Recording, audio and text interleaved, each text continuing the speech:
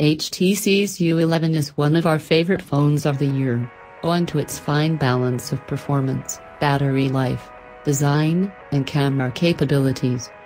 The one truly unique thing that HTC added to it, though, the Edge Sense function that lets you do things with the phone by squeezing its sides, has never risen to be anything more than a gimmicky way to activate the camera.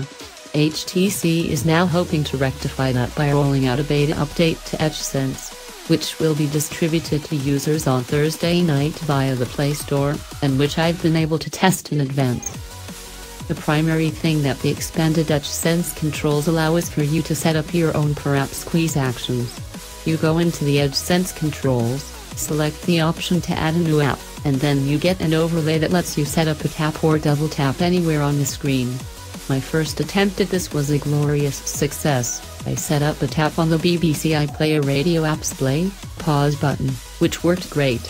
A new preset offered by HTC allows me to squeeze to zoom in and out of pictures in Google Photos, and that works great too. Ditto zooming in and out of Google Maps. In spite of finding more problems than delights with this new software, I'm actually feeling very positive about it. I've only scratched the surface on what can be done with a new EdgeSense. And I think HTC's overlay interface for setting up squeeze-based taps and actions within apps is very well executed. It's just going to...